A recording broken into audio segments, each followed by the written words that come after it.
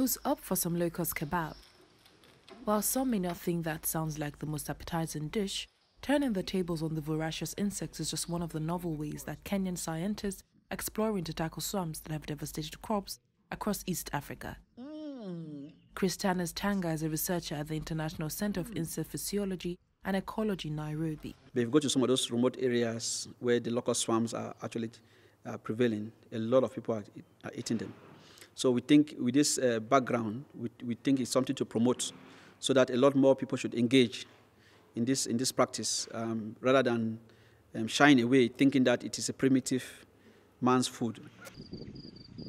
The number of locusts in East Africa exploded in the late 2019, flying west from Yemen and reaching so far this year Kenya, Somalia, and Ethiopia.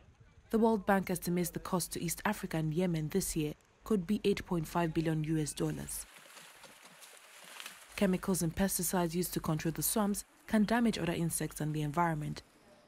So ICIPE scientists are exploring other environmental friendly options, including using locusts as human and animal food and biopesticides.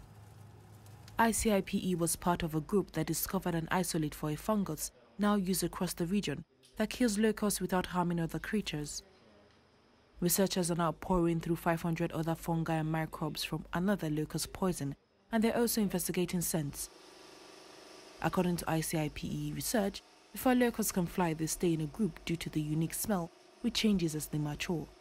By disseminating an adult smell, researchers think the long locusts will become disoriented and swarms will disintegrate, in turn leading the locusts to cannibalize each other. For locusts, their demise could be a case of eat or be eaten.